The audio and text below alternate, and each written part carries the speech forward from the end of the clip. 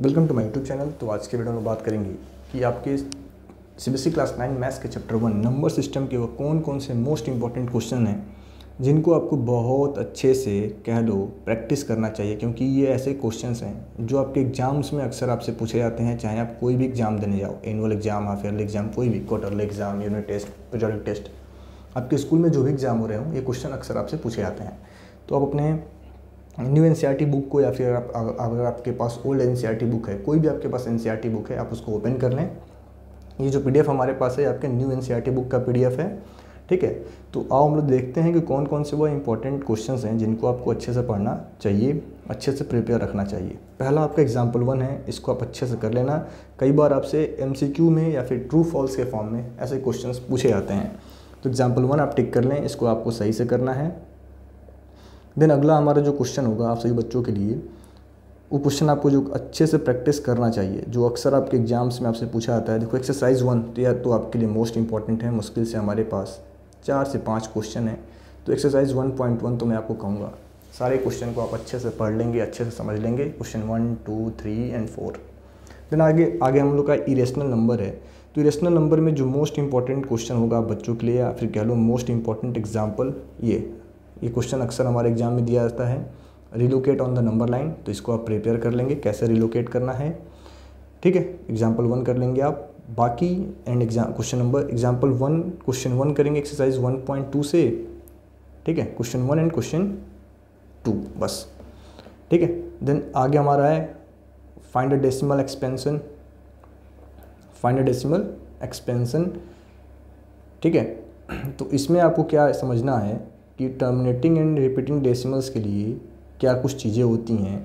तो example number six आप बच्चों को अच्छे से प्रिपेयर करना है। एग्ज़ाम्पल नंबर सेवन आपको अच्छे से प्रिपेयर करना है। सिक्स एंड सेवन देन अगर हम लोग आगे बढ़ें तो example number nine six seven and nine क्योंकि ऐसे क्वेश्चन मैं आपको बता रहा हूँ, हर बार आपके एग्ज़ाम्स में ज़रूर देखने को मिल जाते हैं।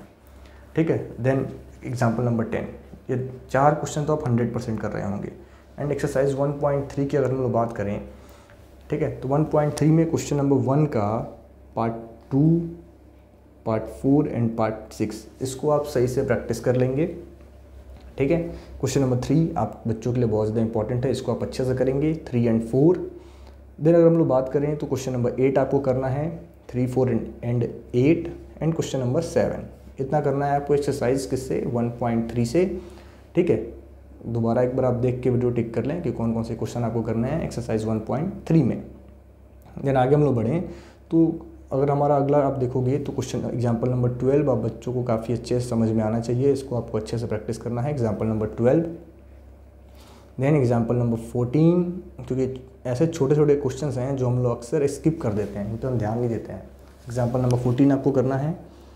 देन अगला हमारा जो होगा एग्ज़ाम्पल एग्ज़ाम्पल नंबर ये ये जो हमारे प्रॉपर्टीज़ हैं, ये आपके लिए बहुत इंपॉर्टेंट फार्मूला है, इसको आप सही से लर्न कर लेंगे। ये बहुत इंपॉर्टेंट है।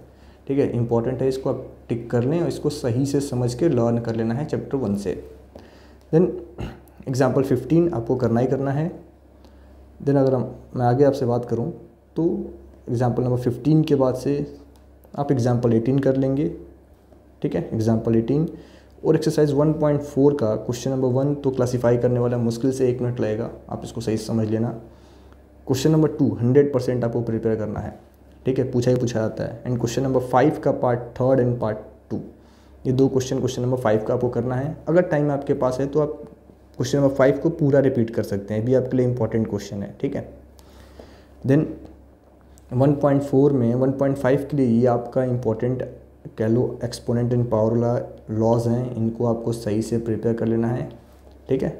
देन इसमें जो इम्पोर्टेंट एग्ज़ाम्पल होगा बच्चों के लिए एक्सरसाइज एग्ज़ाम्पल नंबर ट्वेंटी सही से आप करेंगे, सारे क्वेश्चंस को आप सही से पढ़ रहे होंगे, समझ रहे होंगे, ठीक है? एंड 1.5 एक्सरसाइज के जो भी क्वेश्चंस दिए गए हैं, सारे के सारे आपके लिए इंपॉर्टेंट है, सभी में से आपके एग्ज़ाम्स में पूछे जाने के पूरे के पूरे चांसेस हैं।